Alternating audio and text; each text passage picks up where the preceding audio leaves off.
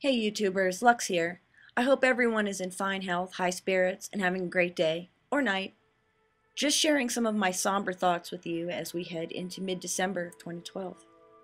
I wrote this about a week ago, but I had trouble with my internet signal and I couldn't get this up, so I'll share my thoughts a little late, but share them nonetheless.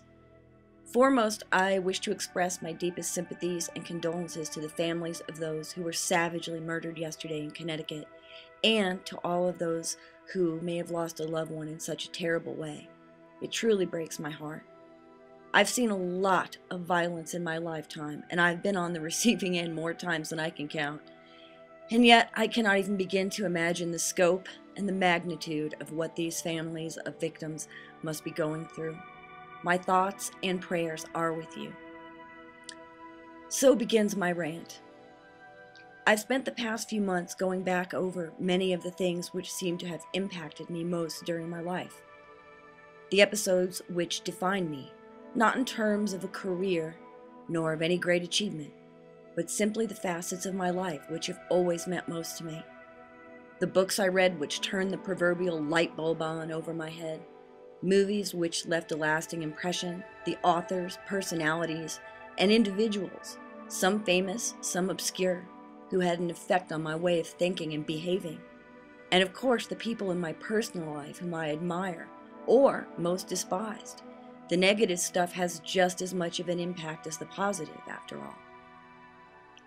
And I've been thinking about the power of the forum which we have here now.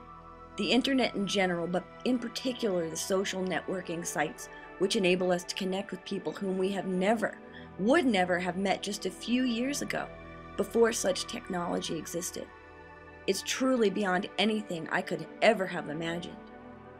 I'm not even sure what the correct word would be when you consider that so many of us are on the same page about so many strange things.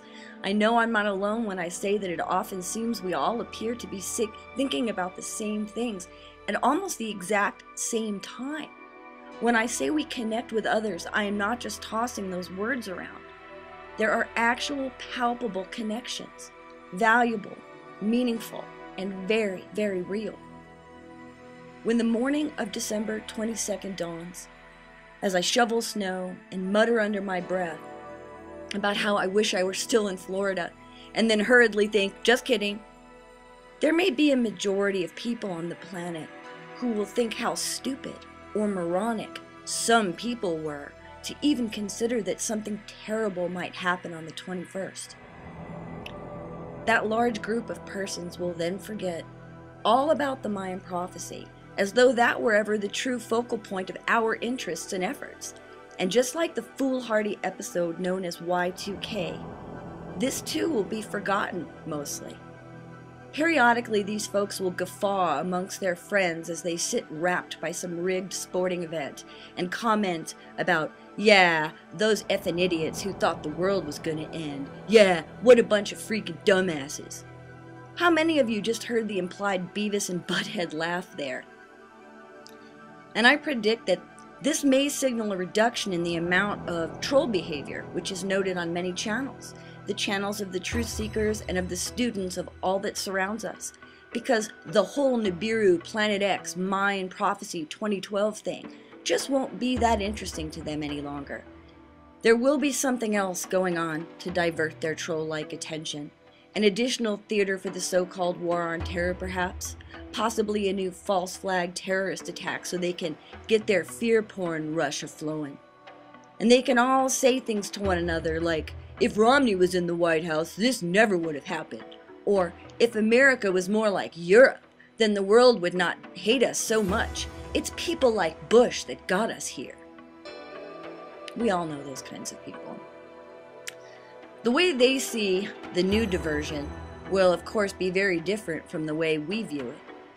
We are already past the point of understanding the forces at work here. We know the enemy, and we are watching the enemy. We are not fooled by attempts to distract us from what is truly taking place. And while we may not always be able to enunciate specifically what the hell is going on, we are in so many ways, I believe, joining the forces of our minds and the power of that crazy little thing called our eternal soul to find answers, peace, and new ideas on how to deal with what we see taking place. No matter what happens on December 21st, I would suggest that each of us take some time to be alone, to be quiet, and to think of one another. The folks all over the world whose opinions we value, whose creativity and genius and undying effort we applaud. We may never meet on this earth, not in person, and yet we are all here, all together, each day. We see and hear each other daily. We enjoy one another's company in some very important ways. Many different types of lives and life stories, fiery and tender hearts, young and not so young. All different backgrounds, education levels, sharing knowledge, opinions, stories, concerns, and so much more. Take some time as we step over the threshold of what the media claim to be a prophecy of apocalypse and step into a new and very different type of year. Our cyber family grows a little each day. We feel each other out there somewhere. Let the Beavises and the Buttheads, the trolls, shills, and outright morons enjoy their false sense of safety and security. Let them laugh about what they assume was some colossal joke played by the media on people like us. Let them claim some sort of manufactured victory in believing that the whole end of the world thing was a hoax and that we were the ones who got punked because we were weak minded, conspiracy oriented, or out to fearmonger for no good reason. They will feel so proud of all their rude, mean spirited comments and the so called debunking, as though they knew all along that the whole thing was a falsehood. They have no idea of what is coming. They do not sense the magnitude, and they are not part of our dialogue. They are not jacked into our sense of being. They are not privy to the magnitude of what we sense.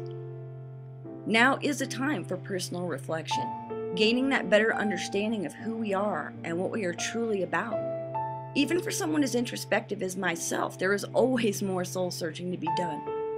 Or maybe it is more like soul excavation at this point. This is not meant to sound overly doomy gloomy, though it may sound that way to some.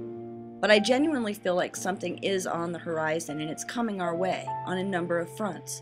I also sense that in the not too distant future, there may not be loads of free time to sit around thinking contemplative thoughts.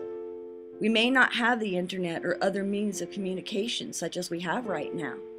I sense that we may be doing actual work, possibly related to the basic needs for survival, and I sense something akin to not having much personal time. These are the things I have a sense of in the future. I hope I'm wrong. As to religion, prophecies, claims of everything which does not glorify a specific religion as being satanic or evil, I tell you this and I hope it hits home. But you must consider that the happenstance of where you were born, the country and culture into which you came in this lifetime. While it may have been chosen by your soul or creator, down here on earth, it does appear very random. You may have been born in India and thus were absorbed in Hindu beliefs and Hindu culture. And you may have been born in America and accepted the Christian or Judeo Christian or whichever religion spoke to you or was given to you by your family.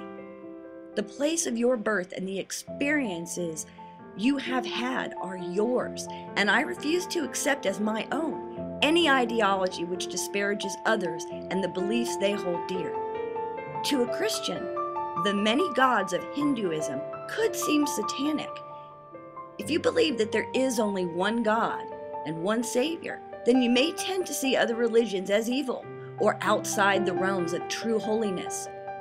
But you need to stop yourselves. This is wrong. I am so sick of hearing that all the mystery religions are evil. You do not know this. Your spiritual path may be different from the paths of others. But you are not in any position to make final determinations on anyone based on your beliefs and your experiences. All people have the rights to their beliefs. You have not seen nor experienced what others have. And you need to come to terms with this. Not every so called occult symbol or other god or gods are signs of pure evil. Stop this silliness now, please. Maybe you will agree with me and maybe you will not. But I say that anything which divides us and prevents us from loving, respecting, and caring for one another is very bad. That is where the evil truly lies. Think about it for a while. Would your God really want you to detest someone whom you have never met, whose life and experiences are 100% different from your own? Would your God want you to despise such a person? Or would your God want you to embrace that person? To yearn to hear about these different experiences? Would your God want you to refuse a connection with another human being simply on the random basis of where that person was born, which customs and religious beliefs were part of that person's life experience and soul? We are all here and our Creator has made a place for each of us, so we all belong here. There are so many of us worldwide across the spectrums of language, culture, economic status, age, creed. And we have gathered here so that we can connect with others, to find the truth, to share our thoughts. Why is that? We have to grow up and learn that a positive connection and the sharing of words, thoughts, and visions this feels so much better than a nasty or negative connection. Why is that? I am hoping that as we move into 2013, the number of people on the positive side of what is going on here will multiply, and that the strangely disconnected trolls will take their nonsense elsewhere. Actually, I'm sort of hoping that all of them will think about what they are doing and how they are using their energy. Maybe they will join us in our most spectacular mission, sharing positive energy and love. Please take good care, my friends. Please do not waste any additional time when it comes to making sure that you are prepared for circumstances which do not favor plentitude. Think of those basic needs you have and make sure that you and your family have what is needed to meet those basic needs. On December 21st, as now. You will all be in my thoughts, my prayers, and in my heart. Really. Talk to you all again very soon. Keep looking up.